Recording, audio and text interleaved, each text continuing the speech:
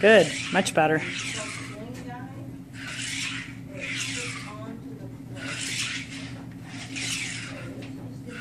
A little less motion. Okay. There you go. Okay, so go ahead and follow through a little bit. Okay, good. Okay, so eyes, go ahead and have eyes stay down and weight to the left. So at this point right here, I'm going to move you better.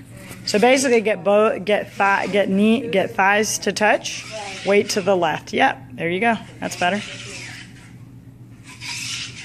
Good. All right, you want to see it?